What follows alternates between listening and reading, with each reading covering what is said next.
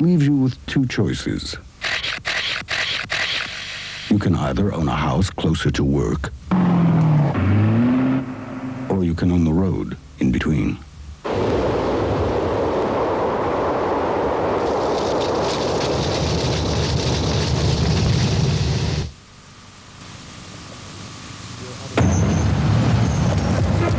We're at a stoplight. It will last 20 seconds. This may be the only time some people ever see you. How do you want to be remembered?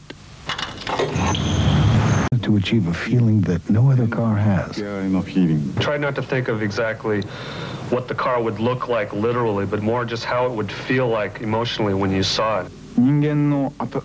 I was struck by its strong human appeal, by its warmth. It was very powerful and very clean and very pure. It creates a desire to touch, to drive it.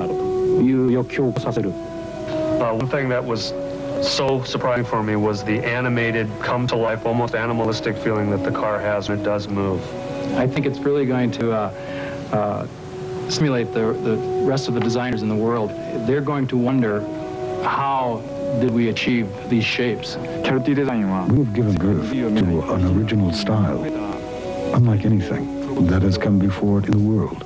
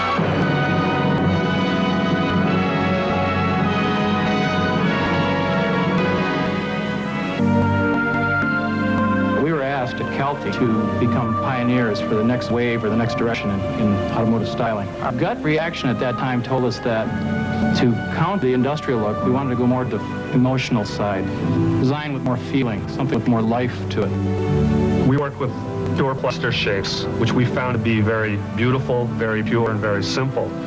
What we needed to do was translate these shapes into a more automotive feel, which again is more linear, more stretched, that type of thing.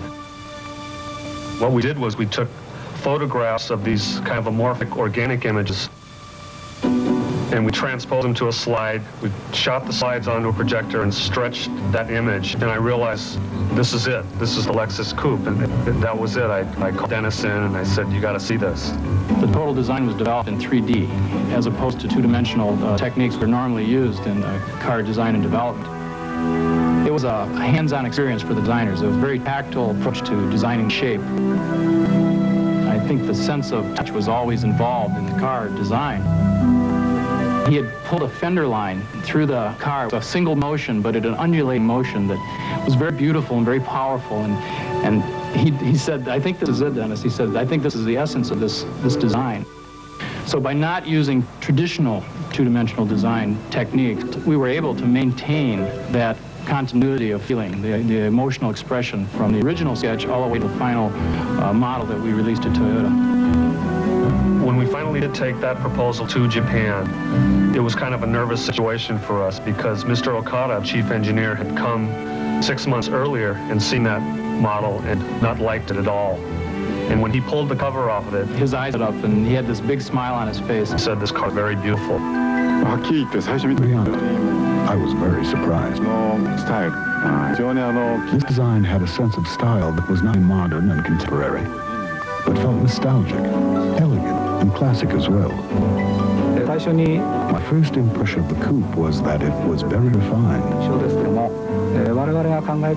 And that if developed the right way, it would be an outstanding vehicle. The Calty prototype gave me a strong sense of the designer's unique taste. And I was afraid that if someone else continued to put the design, the car would lose that feeling. I didn't want that to happen. So I decided to take Mr. Lui to Japan. I remember sitting up in my hotel one, one night, about 2 a.m., looking out the window and seeing all the lights on in the engineering building. And I kind of said to myself, well, if anyone can do it, uh, TMC's going to try. The coupe very distinctive and sensuous body lines. Conventional stamping methods just can't produce those kinds of lines. But our production engineers and factories began developing sample dies. They tried and tried again until they were able to produce this sexy car. I think that this is something other manufacturers can do and is unique to Toyota. A problem we faced with the rounded front end of this design was to secure enough space in the engine compartment. To make everything fit, we had to move the battery around and design special projector-type headlamps with an independent high beam. Then to allow for proper cooling, we designed a new fan system The air cleaner itself meant that we had to raise the hood 50 millimeters. When I heard this, I thought, uh, that's it, there goes the car, because you can't just change the surface, you have to change every surface. We stuck with it, and when we had finally made that adjustment, it looked like we had not changed at all. 通常あのインテリアのあのスペースというのは the usual automotive interior is a square space, like this. But the exterior of the Sport Coupe has a very unique rounded style. So our interior design staff wanted to extend this feeling into the interior. The interior needed to have a luxurious feel, yet the design needed to say high performance. The engine and transmission communicate the feel of performance and luck to the driver through the steering wheel and instrument panel. If I were to describe the interior of the LS-400 as a refined, sophisticated suit, then I would have to say that the SC-400 interior is like a luxurious leather jacket.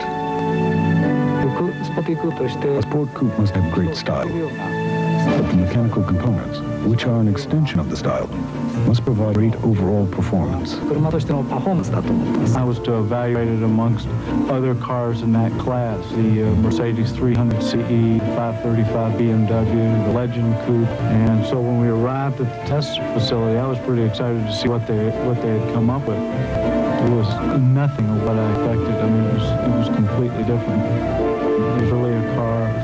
you wanted to, to own or look at or just go up and touch or drive. I mean, it just had those direct lines to it. It was very comfortable, but it felt like the seat wrapped around you a little bit. You felt like, hey, this is a car that I'm, I'm feeling right sitting, and I want to drive it, and I want to drive it fast.